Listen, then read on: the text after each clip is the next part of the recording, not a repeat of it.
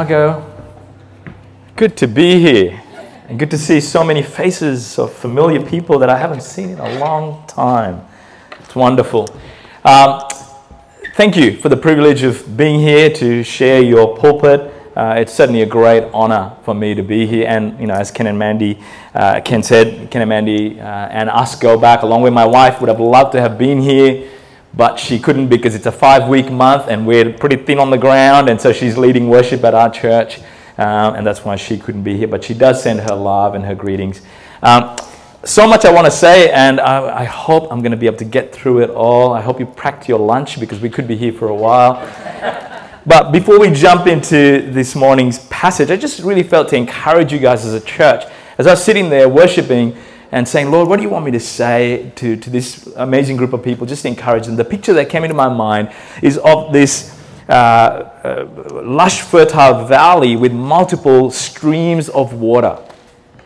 And it was all coming together and forming into this giant river that just grew in intensity and strength and momentum.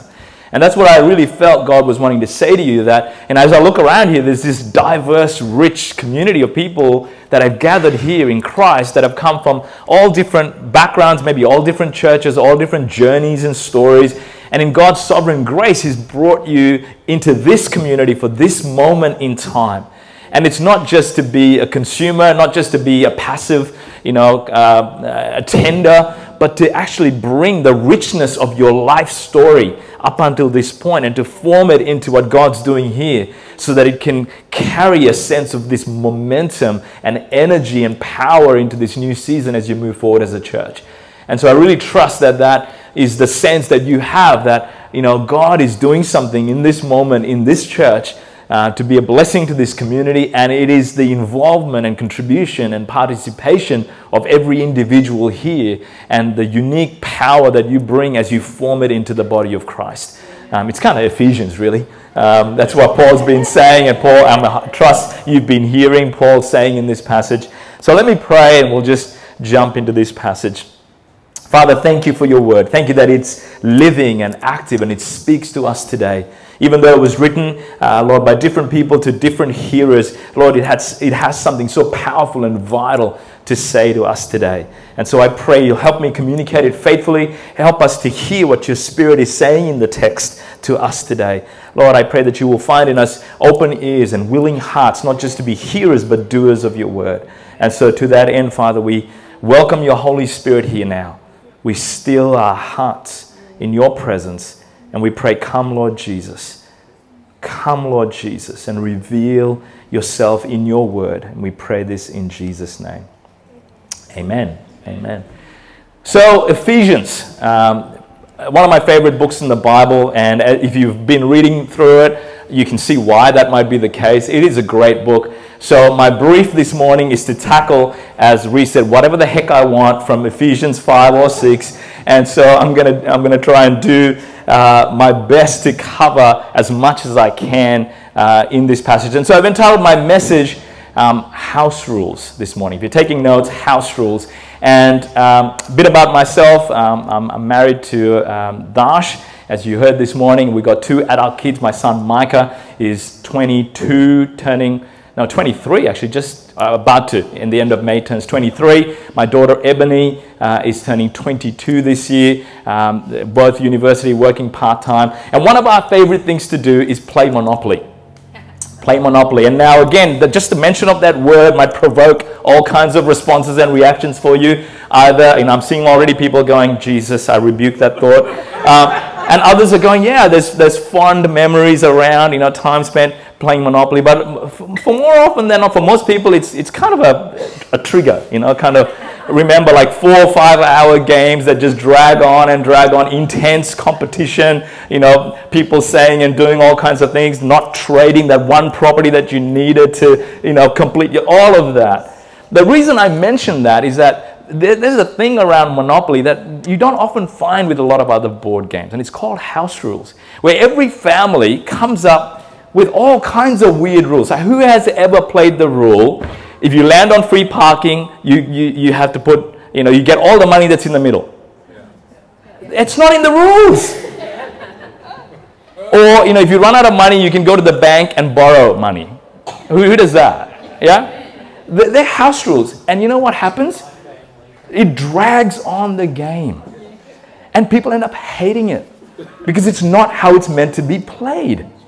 And so, one of the things that we, we came up with as a family, we, we read the rule book like over and over again to really understand the people who made this game. We're a bit nerdy like that.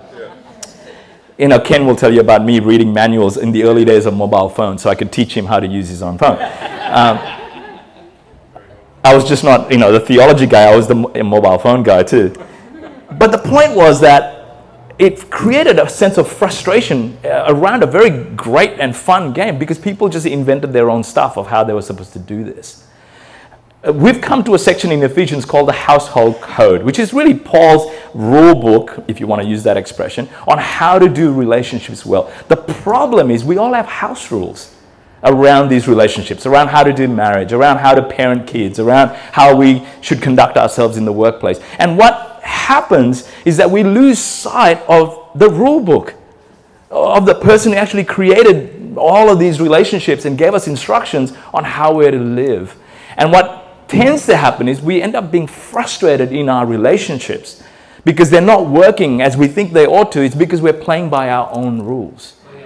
And so this morning, I want us to come back to the rule book and go, let's re examine what Paul has to say here and re examine maybe our own house rules that we've adopted that we need to critique and correct and bring into line with God's word.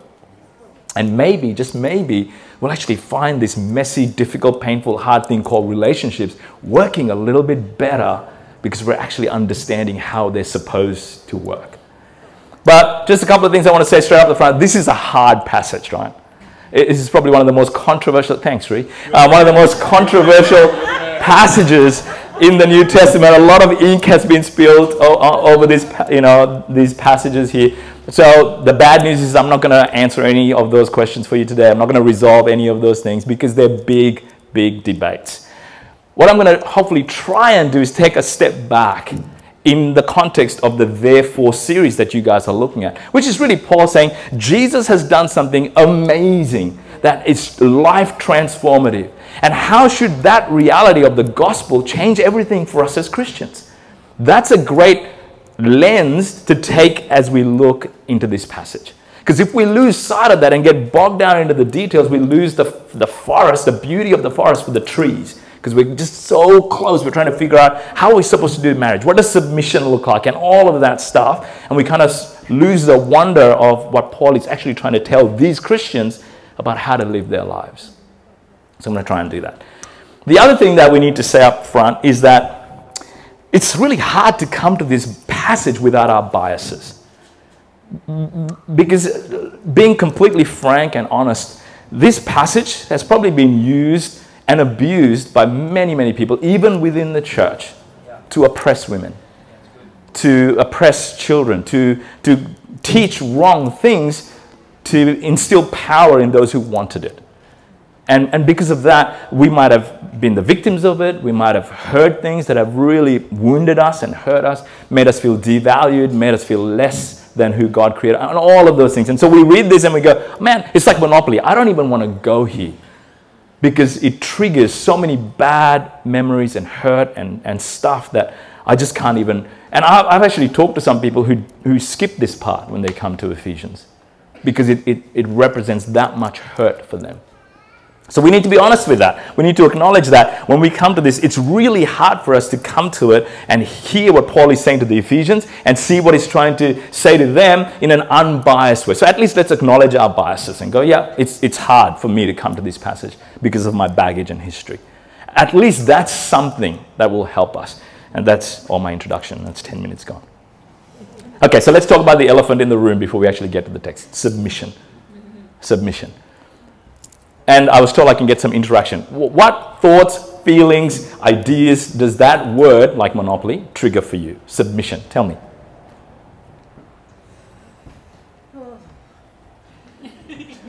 Just A few thoughts, Margot. I know you've got lots. You know, I, I'm preaching today, but please, shh, just a couple of thoughts. Oppression? Oppression? Yep. Humble yourself. Great, great. Pardon? Obedience, yes. Conform. To conform. To conform, yep. Control. Control, yeah, that's a great word. Respect. Respect, Abuse. abuse. Submit. Familiar faces in the back there. Submit. Submit, yep, that's what we're talking about. Submission. Any other thoughts? Okay, cool. A couple of things that I want to say up the bat that we need to understand about this word because it's the thing. Like we start in chapter 5, verses 21. That's where we're kind of jumping in. Paul says, Submit to one another out of reverence for Christ. And then he goes on to talk about husbands and wives, children and parents, uh, slaves and masters. But that's the kind of critical verse, the, the operative verse that sets up everything else. Submit to one another. And if we don't get our head past all of our objections around that word, we'll never actually hear what Paul's actually trying to say here. Okay, so submission. Uh, Firstly, we need to say that in, in, the, in the Greek, in the Greco Roman time, this word was used within particular structures of authority. We can't escape that.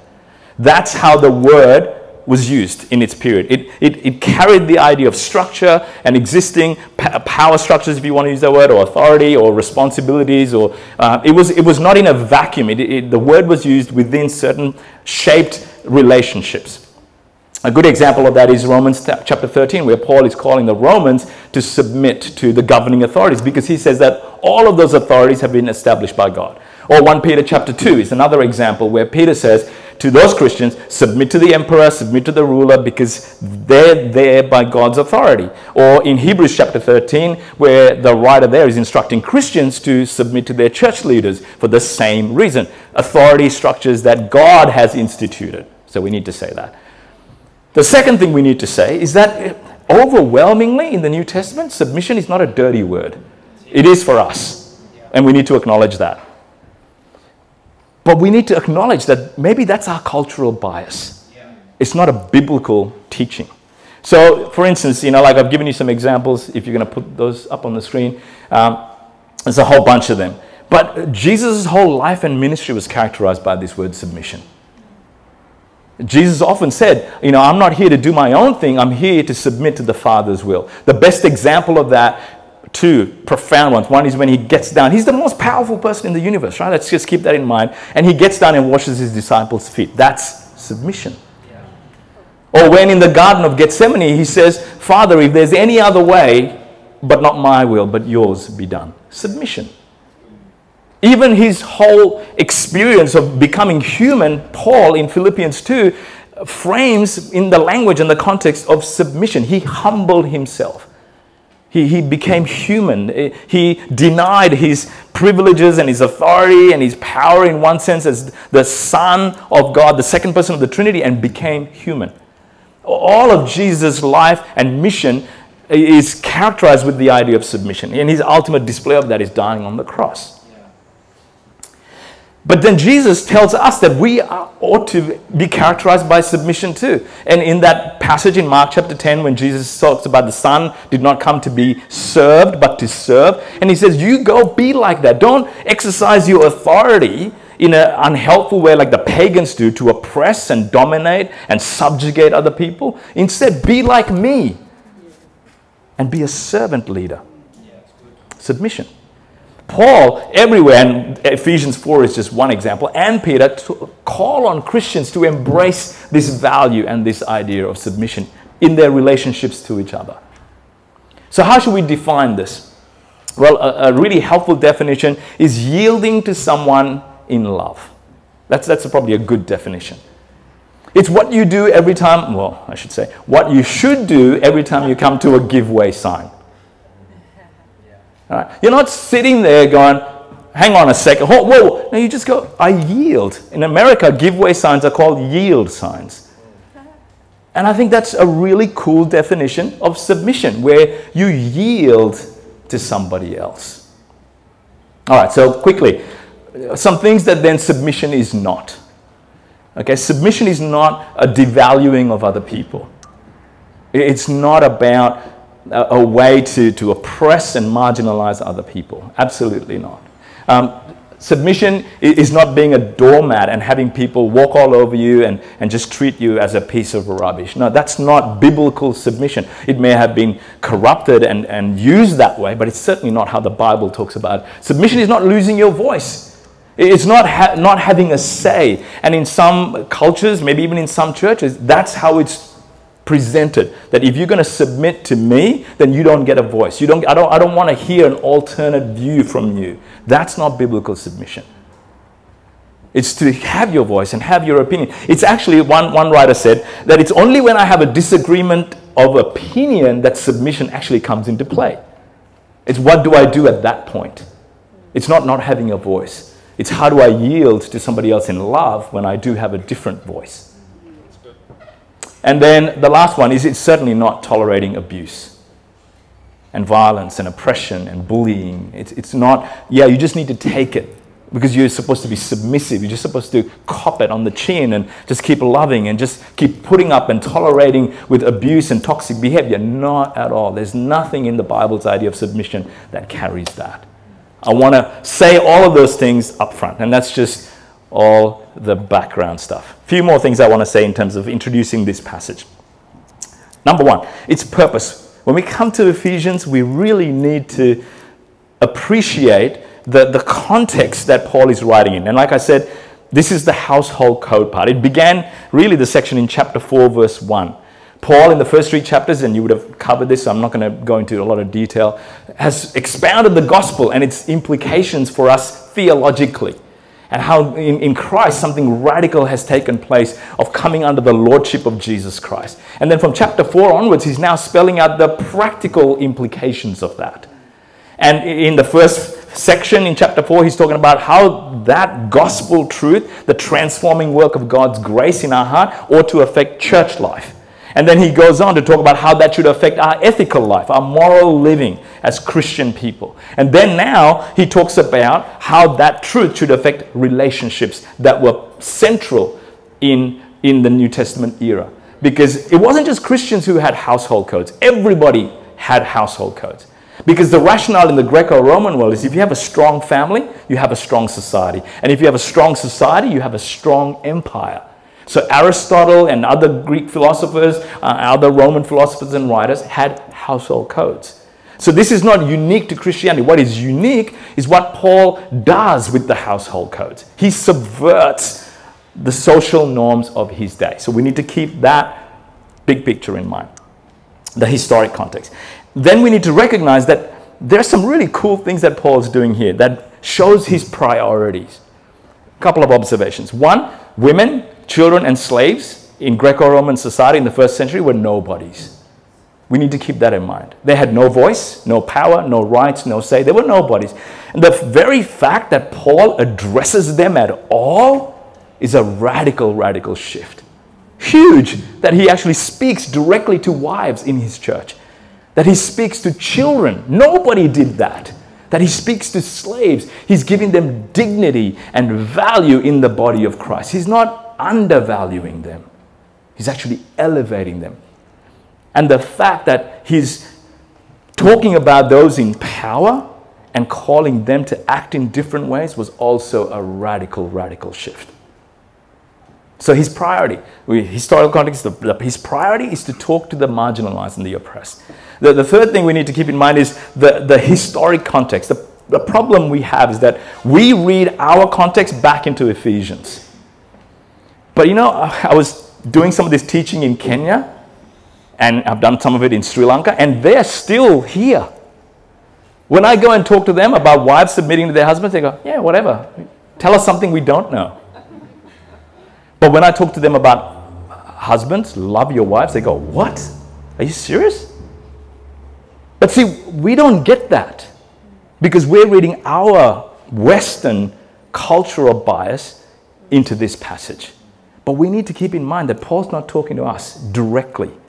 He is talking to a bunch of people who are living in a very, very different culture and context than we are. The last thing I want to say, and I'm nearly finished my time, so We'll never get to the passage. The last thing I want to say is that we need to keep in mind that Paul's purpose here is not to give us a detailed dossier of how to do marriage in the 22nd century. Is that what we're living in? 22nd century? Eh, That's not what his intention is. His purpose here is to do exactly what you're doing in this series is to step back and go, the Christ event, the cross, the gospel has radically changed the human experience. In Christ, we've become new people. And if we're new people, then we need to live in different ways. And that difference has to affect everything, including how we treat each other. In the church, in our homes, in our workplace, that's what he's trying to do here. So at the end of this sermon, are you going to have any more insight as to how to treat your husband, how to treat your wife, how to treat your kids, how to treat your parents? I hope so. But it's because of the work you would have done, not because I can spell out to you from what Paul is saying how you should do that. So, uh, with that all in mind, let's actually jump in to our passage. And I'm not going to read this because it's going to take too much time to read all of it, but I'm going to refer to significant parts of it. And I trust that you've read it. Have, have people read it? Yeah. Cool, excellent. So, three, I think, just big ideas I want to leave with you, and then we'll be done. The first thing that I see here in all of these different instructions that Paul gives to husbands and wives, to children and parents, and to masters and slaves is that we are to love each other in those relationships like Jesus. We're, to follow his example. And we see Paul bring this out most powerfully in his teaching to husbands and wives. The reason being that that relationship, out of all of the others, is most reflective theologically of the gospel, of God's relationship with us. So he begins in verse 25. We see this so clearly. Husbands, love your wives just as Christ loved the church and gave himself up for her. That's kind of what he's already said in chapter 5, verse 1. Follow God's example, therefore, as dearly loved children, and walk in the way of love. Here it is again. Just as Christ loved us and gave himself up for us. Almost exactly. What's his point? If in all our relationships, husbands and wives, children and parents, employee, employer, if we can love each other like Jesus loved us, it will change everything. It will change everything. In John 13, Jesus said that that is the central hallmark of our Christian identity to love like He loved us. Now, I don't know if you've ever sat for a moment, I've done this, it's scary to actually think about what that might look like. To love others, to love your husband, to love your wife like Jesus loves you. And that's why Paul says to husband, and see what's radical? And we miss this stuff, right? Because we just we read about submission and we've just stopped reading. But notice how little time Paul spends talking to wives. Because he's not telling them anything that they don't know. And notice how much time Paul spends talking to husbands. Just word count alone tells you where Paul is focusing his energy. It's to teach something that was radical. That these husbands were to love their wives like Jesus loved the church. And he spells it out. Jesus sacrificed for the church. Jesus sanctifies the church. Jesus nourishes and nurtures the church. They're all the things that we're supposed to do, husbands, for our wives. Profound. Life changing. Really, really, really, really, really hard to do. To love like Jesus. See, and you might be sitting there going, well, you know, I don't have a good example of how to love my husband, how to love my wife, how to treat my kids, because I've had bad role models all my life. I've come from a broken home. I don't even know my father, or I don't, I don't know my mother, or I've lost my family very, very young. I've grown up as an orphan, whatever it might be. But the good news is that you in Christ have a great role model, the ultimate one, the best one. And the more you reflect on Him, and receive love from Him, it enables you to love others. Which is why you notice that Paul in chapter 5, when he begins, he says, Follow God's example, therefore, as dearly loved children. You need to start by knowing that you're loved, that Jesus loves you in a way that maybe you've never been loved. It's not till you get that revelation of how Jesus loves you that you have any hope of loving anyone. And then he goes on to say, and walk in the way of love. See, we try and walk in the way of love before knowing that we are dearly loved. We are dearly loved. Second thing, Jesus is our motivation for loving. And Paul brings this out powerfully in the, in the section on, on slaves and masters. And what, I mean by this is that, you know, I've often heard, you know, couples and, and kids and whatever say, if they do this, then I will. I've heard wives say, well, when my husband, you know, treats me with respect, then I will submit to him. When he earns it, then I will give him what I'm supposed to give. Or husbands say, when my wife stops nagging me, then I will love her like Jesus. But I don't see that. I'm sorry, uh, that's not there. This is unconditional. The only condition is out of reverence for Christ. 521, right? We're back. Submit to one another out of reverence for Christ. That's your motivation. That's your reason. The only reason. And listen to how Paul brings this out with slaves and, and their masters. Slaves, verse 5, chapter 6. Obey your earthly masters with respect and fear, with sincerity of heart. Why? Just as you would obey Christ. Obey them not only to win their favor when their eyes on you, but as slaves of Christ, doing the will of God from your heart. Serve wholeheartedly as if you were serving the Lord, not people. It's Jesus. That's your motivation. That's your only motivation to love your husband, your wife, your child, your parents, your boss, your, your employees is because of your commitment to Jesus, because of your love for Him, because you've received, point one, His love for you. And you're so secure in, in His love for you, and you are so overwhelmed by wanting to live your life to honor Him that you love others out of that motivation unconditionally whether they're deserving of it or not, whether they're worthy of it or not, whether they have earned it or not. Or, none of that matters. You do it as unto the Lord. You see, so often when we come to this passage, we focus on what Paul says to other people. Husbands always focus on what Paul says to wives. Wives always focus on Paul. It's like, can we just hear Paul talking to us and not worry about anybody else? It's like you know, when uh, John 21, when Peter and Jesus are having that conversation, you know, feed my sheep, love me. And then Jesus and Peter are walking alongside, and Peter goes, Well, what about him? About John. And what does Jesus say? Don't worry about him. You follow me. And so often we, we, we forget that. We go, Well, what about them, Jesus? What about my wife? And often that's how this is abused in churches, with men telling women that they need to submit. But Paul is the one who tells them to do that. Let them hear it from Paul. See, submission is not something that can be demanded, it's something that can be, has to be given. And love, again, is not something that can be demanded. It's something that has to be given, which is why Paul talks to the different people and tells them how they are to honor Christ in their relationship. I remember this came out powerfully to me. You know, a few years ago, uh, I speak re- quite regularly at a, at a Tamil church, Sri Lankan church, and they asked me to come and do a seminar for their kids. And the brief I got, a bit like today, is come and tell our kids how they need to obey parents. Because you're a Sri Lankan, they'll listen to you. You know, you've been, you just need come and fix our kids. And so I said, yeah, I'm happy to do that, but you need to be there too. And so I preach from this passage. And I go, kids, this is what I'm going to tell you. And then I said, now, parents, let me tell you what Paul is telling fathers and mothers of his time. Don't exasperate your children. It's not just one sided. We always want God to get the other person. And we forget that God is more interested in getting us. Go, just get your heart right. You follow Jesus. You honor Jesus. You do what God is asking you to do to follow in Jesus' footsteps. That's your motivation. Point three Jesus transforms our attitudes and our behavior.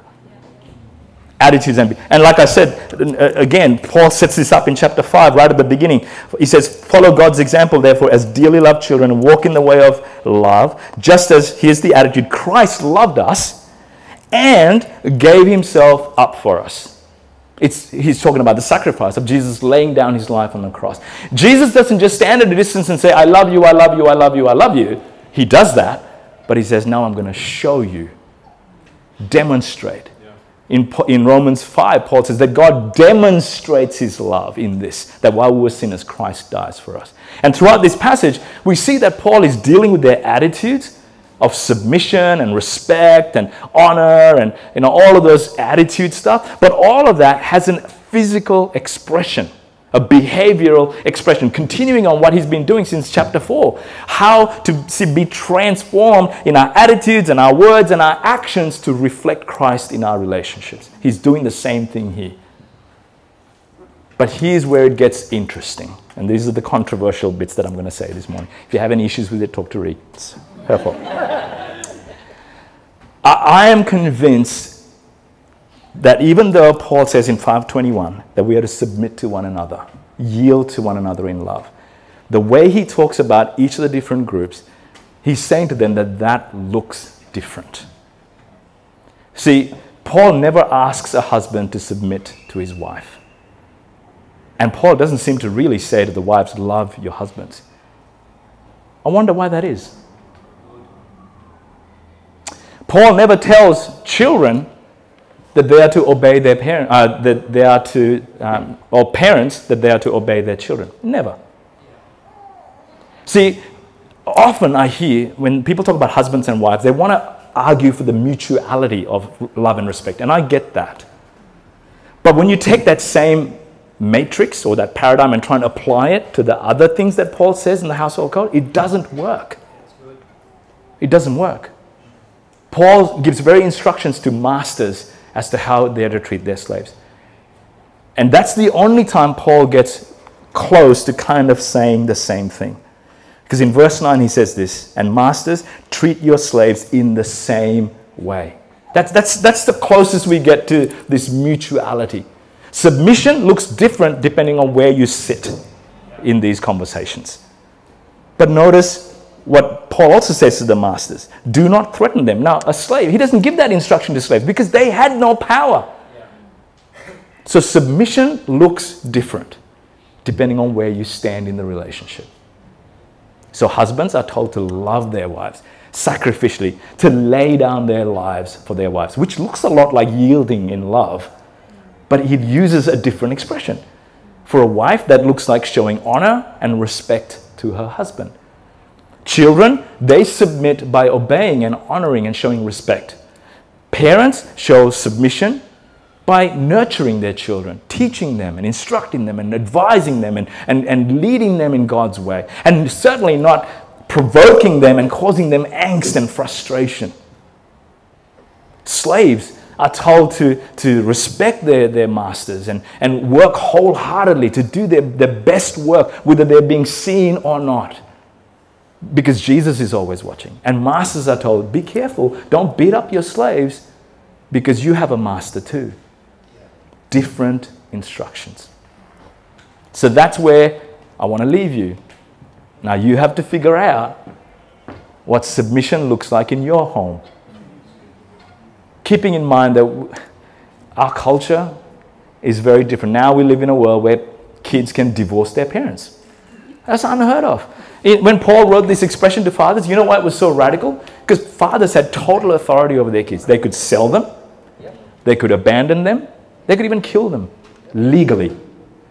So when we try and take those instructions and apply it to today, you see the problem we encounter. And Paul is writing to a bunch of employers, masters, that could beat up their slaves, do whatever they wanted with them. We don't. We live in a you know industrial era of you know fair work and all you know all kind. It's just different.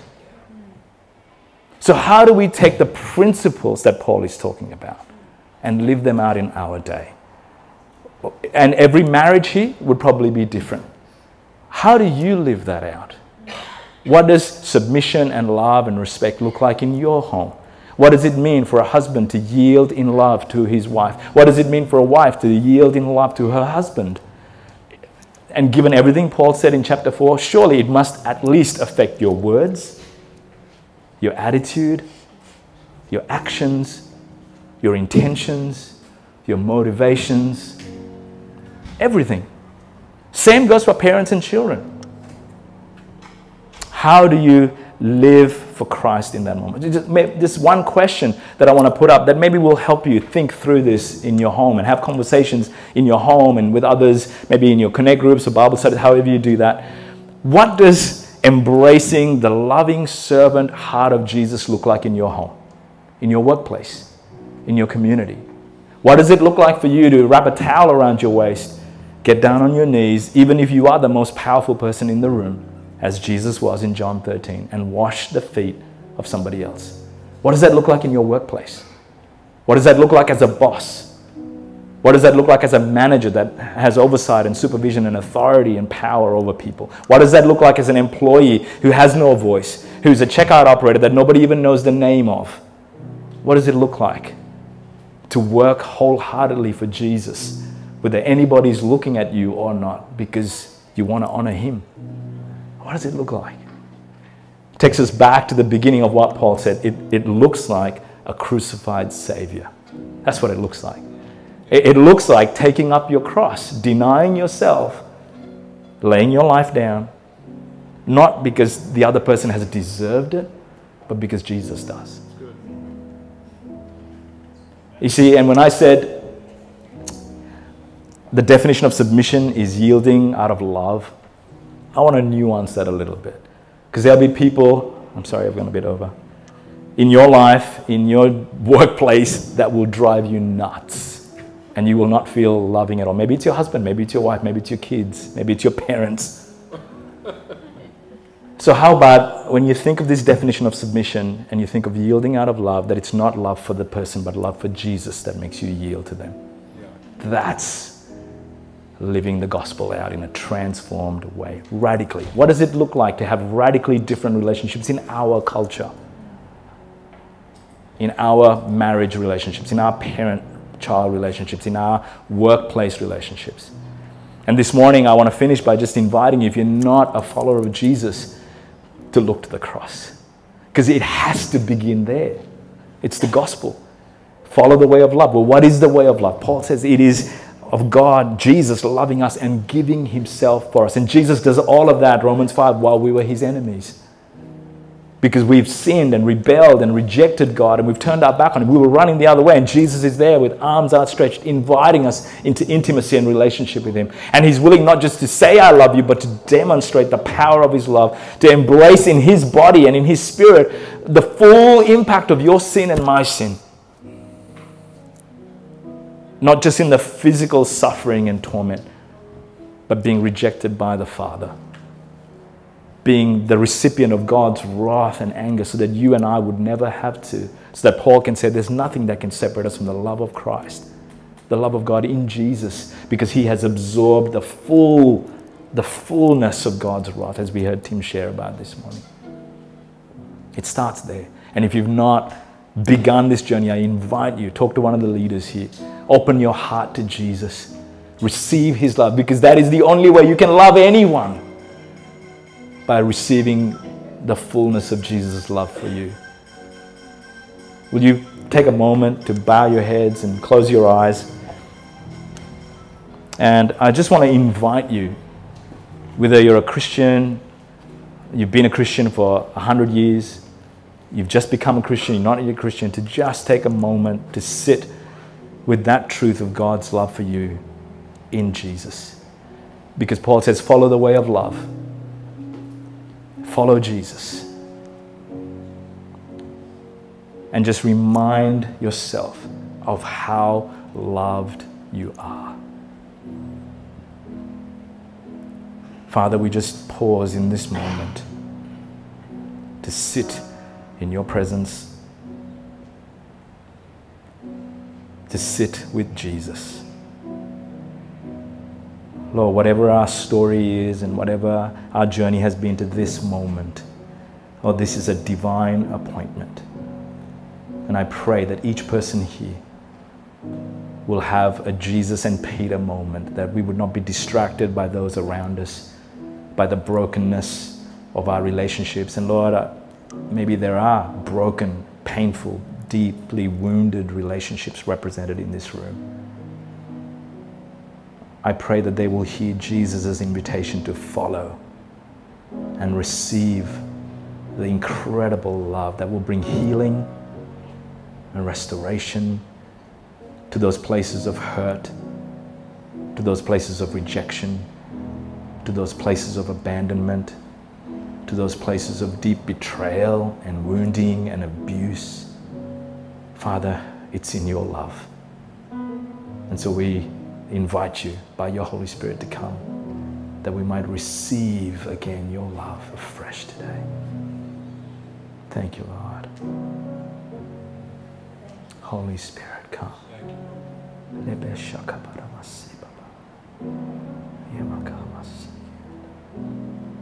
Jesus.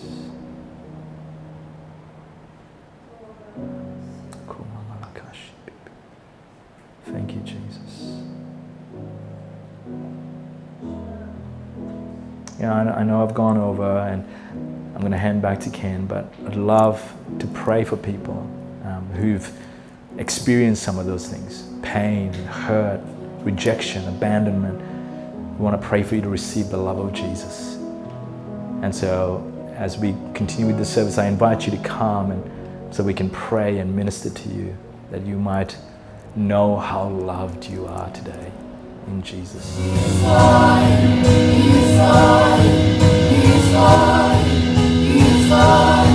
he's fine, he's fine.